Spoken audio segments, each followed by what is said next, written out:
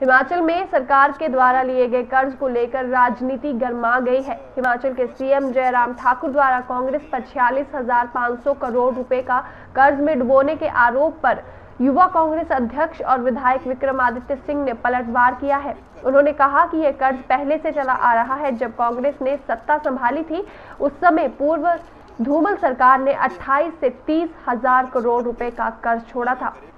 उन्होंने ये भी कहा कि कांग्रेस सरकार को दिल्ली की सरकार से मदद नहीं मिली, लेकिन अब यहाँ की बीजेपी सरकार को चाहिए कि केंद्र से अधिक से अधिक मदद ले और यहाँ के विकास कार्यों में गति लाए। वहीं विक्रमादित्य सिंह का कहना है कि सीएम जयराम ठाकुर ने पूर्व सीएम वीरभद्र सिंह और प्रेम कुमार धूमल से मुलाकात कर एक अच्छा संकेत दिया है और इससे लगता है कि प्रदेश की राजनीति सही और सकारात्मक दिशा में जाएगी। और राज्य में विरोध और बदले की भावना से कार्य करने की राजनीति नहीं होगी। जो नए मुख्यमंत्री प्रदेश के बने हैं, उन्होंने जो अपना कार्यकाल शुरू किया है, एक बहुत पॉजिटिव रूप के साथ शुरू किया है।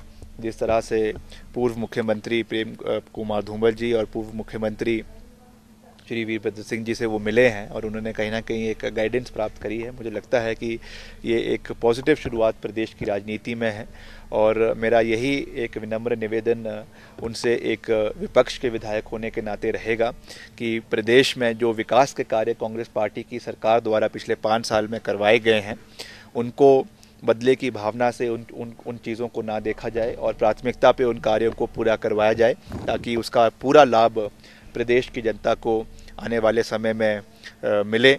वहीं उन्होंने कहा कि राहुल गांधी से आरएसएस की तर्ज पर कैडर खड़ा करने का आग्रह किया है। विक्रमादित्य ने कहा कि पार्टी में होल टाइमर कैडेट होंगे तो वे बीजेपी के मुकाबले संगठन खड़ा कर पाएँगे। उनका कहना था कि इस संबंध में उन्होंने पार्टी के राष्ट्रीय अध्यक्ष राहुल गांधी के साथ भी चर्चा की है। जिस तरह से एक डेडिकेटेड फोर्स उसमें काम करती है, जो जिनका एक बहुत बड़ा रोल बीजेपी की सरकार को बनाने में रहा है, कहीं ना कहीं हमको भी एक डेडिकेटेड फोर्स पार्टी के अंदर बनाने की आवश्यकता है। और उसमें पढ़े लिखे लोगों को, युवाओं को, अधिवक्ताओं को उसमें लाने की आवश्यकता है और उन्हें एक प्लेटफॉर्म प्रोवाइड करवाने करवाने की आवश्यकता है, जिनकी रेगुलर बैठक हो, जिनके साथ हम रेगुलर रेगुलर पार्टी की इंटरेक्शन कर सकें। क्योंकि जिस तरह से जो है आरएसएस पेनिट्रेट कर रही है, जिस तरह से एजुकेशन एजुकेशनल इंस्टीट्यूशंस में आरएसएस या एबीवीपी या बीजेपी जो है अपनी एक जगह बना रही है वो आने वाले समय में एक शुभ संकेत नहीं है। उस चीज़ को काउंटर करने के लिए हमें जो है पार्टी के अंदर एक डेडिकेटेड फोर्स बनाने की आवश्यकता है। उसके बारे में मैंने हमारे राष्ट्रीय अध्यक्ष से भी बात करी है और उन्होंने मुझे पूरा विश्वास दिया है कि इस पर हम जल्दी से जल्द कोई कार्यवाही करेंगे। अभी शिमला से अनीश चौहान की रिपोर्ट।